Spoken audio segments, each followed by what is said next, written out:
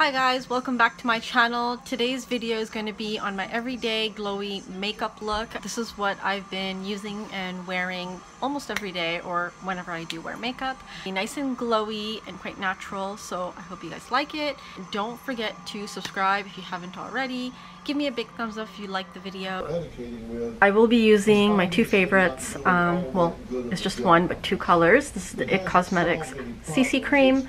Um, I've got two colors here. One is in tan and the other one is medium. Medium's a little bit too light and this one's a little bit too dark, so I'm just going to mix the two together.